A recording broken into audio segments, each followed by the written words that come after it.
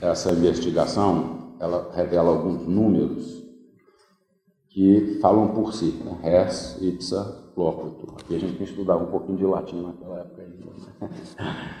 É, até agora, até hoje, dia 12 de maio, foram realizadas 917 buscas e apreensões.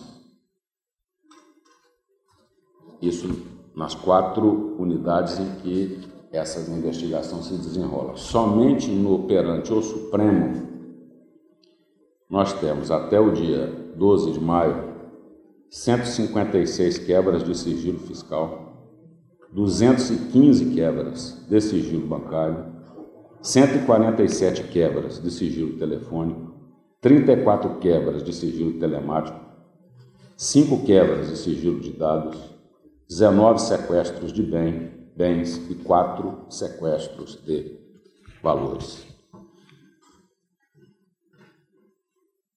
Nós realizamos até agora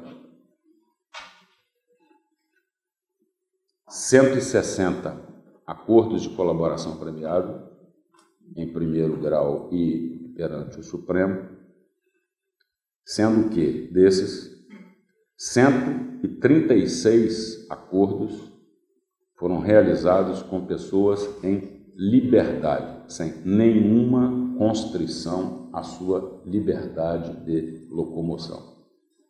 E 24 pessoas detidas, pessoas com restrição à sua liberdade de locomoção. Portanto, são 85% dos réus colaboradores firmaram os respectivos acordos em completa liberdade e somente 15% firmaram acordos com restrição de liberdade. Eu queria falar um pouquinho desse Instituto da Colaboração Premiada, que é, tem muito, eu diria, tem muito, muita, muito comentário sem muito fundamento sobre o que é essa história.